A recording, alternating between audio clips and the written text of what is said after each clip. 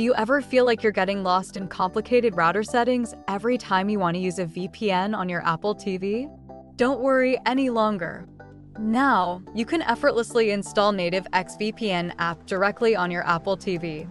Let's dive into just how easy it is. First off, ensure that your Apple TV version is on tvOS 17 or higher. Then, visit the App Store, search for XVPN, and click Get. Once it's installed, click Open, and you'll be taken straight to the login screen. If you're new to XVPN, click Get Started to become a member and enjoy a 7-day free trial. If you're an existing user, click the Sign In button.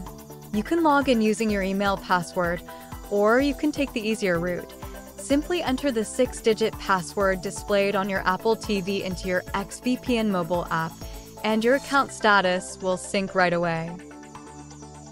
Once logged in, tap Connect and you're all set. XVPN is now connected, and you can effortlessly enjoy smooth video streaming. There's more.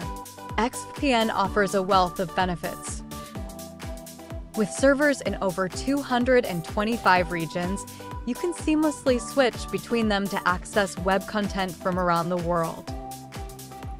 Plus, XVPN provides optimized lines for popular streaming services like Netflix, Hulu, and BBC, ensuring a truly convenient and superior viewing experience.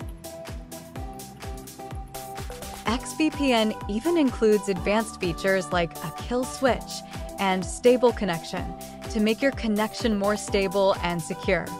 And if you have any questions, XVPN's 24 7 online customer service team is always ready to offer assistance.